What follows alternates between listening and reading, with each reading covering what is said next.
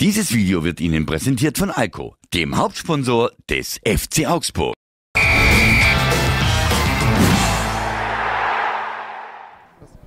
Pierre, das war ein unwahrscheinlich schweres Spiel. Köln hat äh, brutal Beton angerührt. Wie zufrieden oder unzufrieden bist du mit diesem 0 zu 0? Ja, wir haben oft in dieser Situation gestanden, wo wir, wo wir immer wieder äh, am Ende auf ein Tor spielen muss und äh, die, die, die kleinen Details rausholen muss.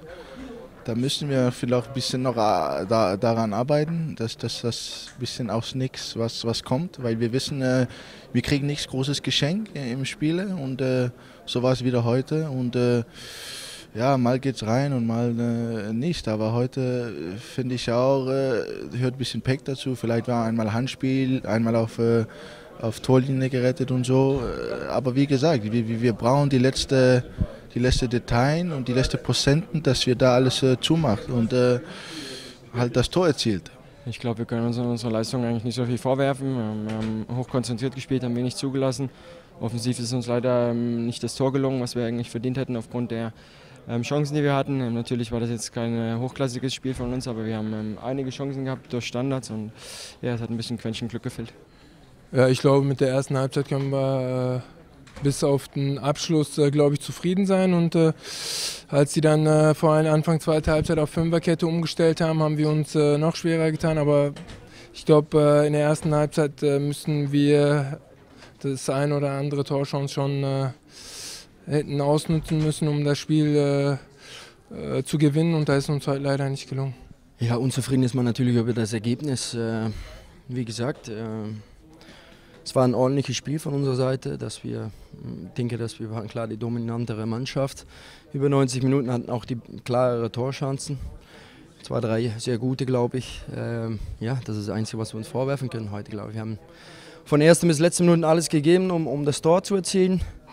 Äh, am Ende haben wir das leider nicht geschafft und äh, da muss man auch mit dem Punkt leben. Wie schwer ist das trotzdem gegen so eine Mannschaft, die sich ja mit elf Mann hinten reinstellt und nach vorne eigentlich gar nichts macht? Ja, es ist nie einfach gegen einen defensiven Gegner zu spielen. Äh, wie gesagt, äh, es macht Köln gut. Die verteidigen sehr kompakt, äh, aggressiv, lassen wenig Räume zu.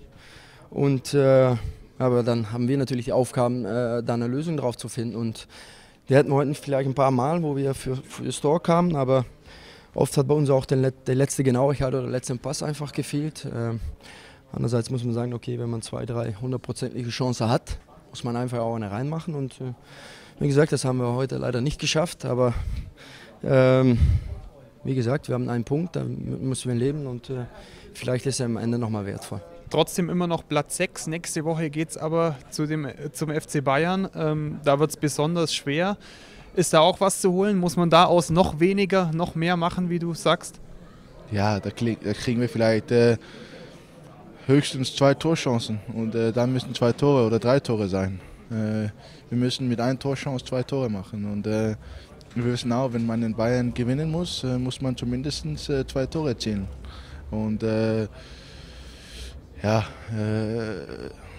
Augsburg hat es schon mal gemacht, warum nicht nochmal, aber, aber, aber äh, Bayern ist natürlich ein ganz großes Nummer und äh, ein Ausnahmegegner. Das Gute ist, dass äh, Bayern, glaube ich, nicht mehr weiß, dass wir nächste Woche nach München kommen. Sie haben ja alle äh, nur, nur ähm, Barcelona im Kopf und wir haben letztes Jahr bewiesen, dass wir gegen eine B-Mannschaft gewinnen können und ich gehe mal davon aus, dass nächste Woche auch eine B-Mannschaft spielt. Da haben wir alle Chancen in der Hand. Aber du bist gegen deine Ex-Kollegen besonders motiviert. Ja, ich bin jetzt Augsburg-Spieler und äh, möchte mit Augsburg jedes Spiel gewinnen. Paul Verhaag bis 2018. Ich glaube, das gefällt jedem FCA-Fan und Anhänger. Was hat den Ausschlag gegeben, dass du deinen Vertrag vorzeitig ja um zwei weitere Jahre verlängert hast? Ja, weil äh, ich mich erst erstens un unheimlich wohlfühle bei diesem Verein. Äh, wenn man sieht, was hier die letzten Jahre entstanden ist, wie der Verein sich entwickelt hat, äh, ist natürlich super und ich möchte gerne diesen Weg mit dem Verein weiterführen und äh, dafür gab es für mich keinen Grund, äh, mich was anderes zu überlegen. Das ist ja schon ein Statement, war ein bisschen überraschend auch. Äh, stehen auch noch ein paar andere Kandidaten seit längerem in der Pipeline. Ähm, ging das ganz fix oder hast du ja schon lange gewusst, dass du ähm, auf jeden Fall hier bleiben willst?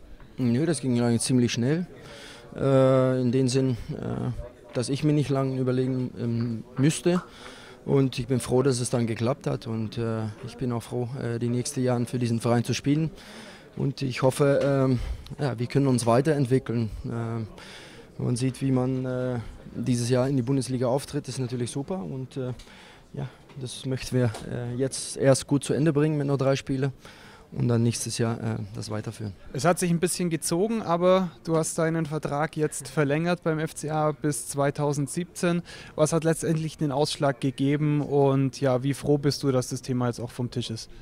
Ja, ich bin sehr erleichtert. Äh, ich glaube, die letzten zwei Jahre, seitdem ich hier bin, äh, hat es einen riesen Spaß gemacht, mit der Mannschaft, äh, mit dem Trainerstab zu arbeiten und und äh, ich glaube, die beiden Personalien, äh, Markus Weinzel und Stefan Reuter, haben noch eine Riesenrolle gespielt.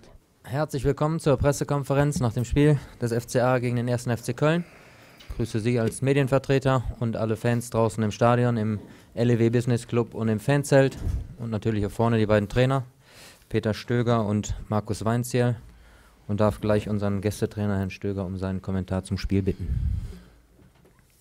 Ja, wir ähm, sind mit dem Punkt sehr, sehr zufrieden. Wir wissen, dass wir hier viel Arbeit zu verrichten hatten. Ähm, keine Mannschaft, die Zielsetzung aufgrund einer sehr, sehr starken Saison hat, äh, um die Euroleague-Plätze mitzuspielen. Ähm, wir wollten mehr nach vorn unternehmen, das ist uns nicht gelungen, wir haben so unsere Probleme gehabt. Die äh, Mannschaft hat alles äh, dafür getan, äh, im läuferischen, im kämpferischen Bereich, um dann den Punkt mitzunehmen der tut uns gut. Äh, wir können es einschätzen, äh, als Aufsteiger hier einen Punkt mitzunehmen in der Phase der Meisterschaft. Deswegen sind wir zufrieden. Wir haben schon bessere Spiele abgeliefert, aber es war von unserer Seite alles, was wir heute einbringen konnten, haben wir eingebracht und fahren einigermaßen zufrieden nach Hause. Dankeschön. Dankeschön, Herr Stöger. Wie zufrieden bist du, Markus? Ja, schade, denke ich. Ich kann meiner Mannschaft heute nichts vorwerfen. Ich glaube, dass wir ein gutes Spiel abgeliefert haben. Wir waren auch die bessere Mannschaft mit der klar besseren ähm, Spielanlage. Aber es äh, ist uns in der Vergangenheit auch immer schon so gegangen, dass wir gegen defensive Mannschaften äh, Probleme haben, uns Torschancen zu erarbeiten und dementsprechend Schwerer fällt es dann auch gegen ultradefensive Kölner Mannschaft heute. Ich denke, dass man äh, gesehen hat, dass sie auf den Punkt aus waren.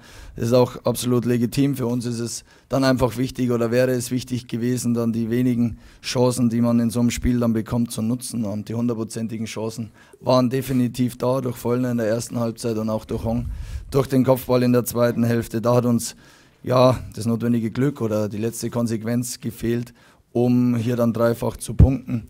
Ist uns nicht gelungen heute, denke ich, äh, uns für den Aufwand zu belohnen. Aber so ist es, machen wir weiter, den Punkt nehmen wir mit und es sind noch drei Spiele und äh, es ist spannend, hoffentlich bis zum Schluss. Dankeschön. Danke dir, Markus. Gibt es Fragen? Dann bitte kurz das Handzeichen. Wir reichen ein Mikro. Keine. Gut, dann herzlich, herzlichen Dank. Unseren Gästen eine gute Heimfahrt und Ihnen allen einen schönen Abend. Ebenso.